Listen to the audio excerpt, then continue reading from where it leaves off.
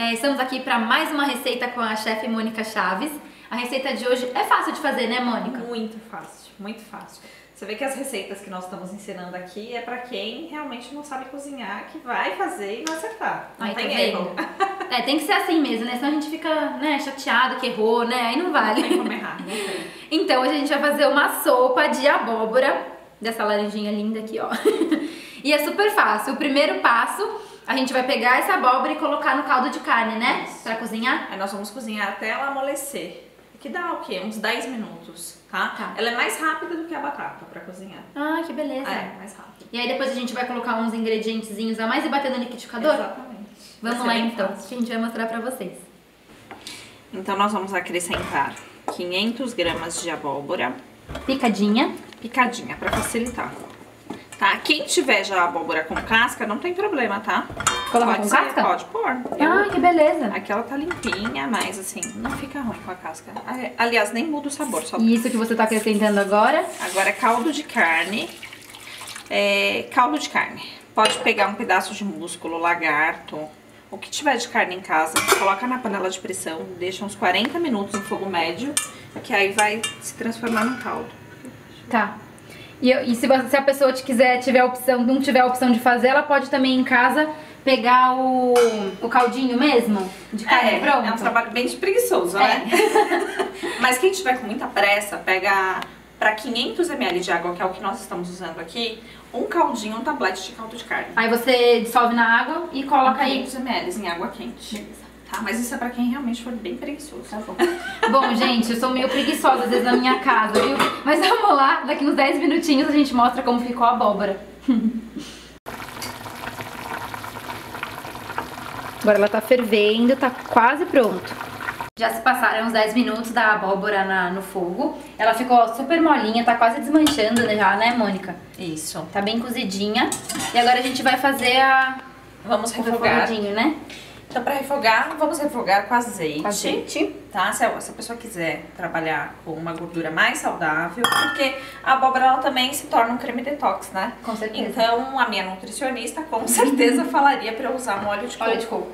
Mas podemos trabalhar Com com azeite. ou óleo mesmo, se a pessoa quiser colocar Tá óleo, ótimo. pode pôr. Então, vamos colocar cebola. Cebola.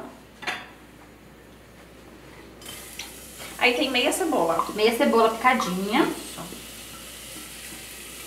Pode pôr. Pode. E o alho. E o alho põe em seguida? É, tem um dente e meio de alho. Aí dá uma fritadinha. Deixa fritar bastante, como se estivesse fazendo arroz. É, exatamente. E aí nós vamos acrescentar a abóbora, só a abóbora, Só a abóbora. sem caldo. Sem o caldinho. Sem o caldo. Vamos fritar a abóbora. É. Mas não jogue fora o caldo, hein? É. O caldo é importante. Você vê que a abóbora, no cozimento, ela perdeu bastante, ela absorveu o líquido, ó. Tinha meio litro de É caldo. verdade. Não Perdeu evaporou, bastante. porque a panela estava tampada. Então a abóbora, ela absorveu esse líquido. Ficou bem gordinha de água. E a gente fica mexendo ou deixa ela Ela dá uma mexidinha, só é o suficiente, é só pra dar uma... É só um pouquinho mesmo. É, só pra dar uma enfogadinha. Só pra dar um sabor. E agora nós vamos bater no liquidificador a abóbora refogada com um caldinho que sobrou. Bora lá então. Estamos nos finalmente agora. A abóbora já tá cozida, já tá refogada. Então agora a gente vai bater no liquidificador, né? A gente vai botar, botar, que nem ovo. que nem galinha que bota ovo, não. Colocaremos, né, a abóbora dentro do liquidificador. Vamos lá. Ai, quando eu faço isso na minha casa, gente, eu já tiro o negócio daqui pra não fazer meleca na pia inteira. Agora a gente reza pra não sujar a cozinha da Mônica. Mais desastrada que eu. Eu só tenho cara de... Que não sou toda certinha, né? Mas na verdade. você coloca tudo ou você vai batendo aos poucos? Aí eu coloco tudo. Tá, então tá bom. Tá molinha, se ela tiver que lugar. Onde eu vou pôr o caldinho, Isso, aquele que eu falei pra não desprezar. E essa, e essa cebolita aqui que sobrou? Tá, vamos por tudo. Vamos. Tudo que der. Dá sabor.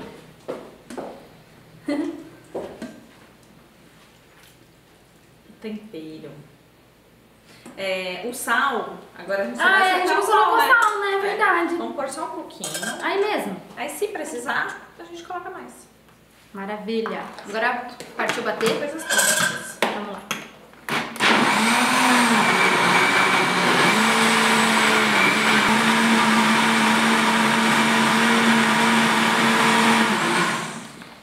Mega Prontinho. rapidinho. Super Aí você rápido. bota na panela? Não, Ou não? Agora vamos pôr já direto nas tigelinhas. Ah, tá aqui, ó. Olha que prático! Gente, arrasou! Ai, que lindo, né? Laranja assim. E super saudável. Super. Bora lá comer então agora pra ver se tá boa de verdade. Vamos. Vamos. Agora a gente vai colocar uns acompanhamentos na nossa sopita.